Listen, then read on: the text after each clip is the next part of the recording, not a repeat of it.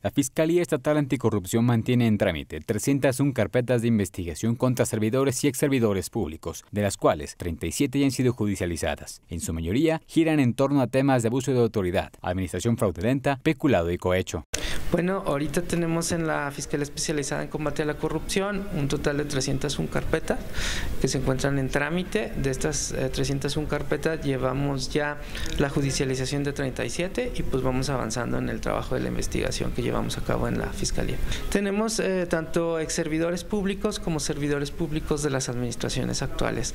Eh, es necesario señalar que la Fiscalía inicia a partir de marzo del 2018 y pues llevamos carpetas de investigación de ejercicios desde el 2015 en adelante. El titular de esta instancia, Salvador Villa Almaraz, aseveró que el porcentaje de una denuncia ciudadana es bajo, por lo que se realizará una campaña a través de medios de comunicación y redes sociales para acrecentarlo pues queremos que eh, la ciudadanía se acerque y, eh, a denunciar y por ello estamos llevando a cabo una campaña de cultura de la denuncia a través de medios electrónicos y de medios impresos en donde necesitamos pues que el ciudadano que ha sido o que sufre o ha sufrido algún acto de corrupción pues presente la denuncia correspondiente.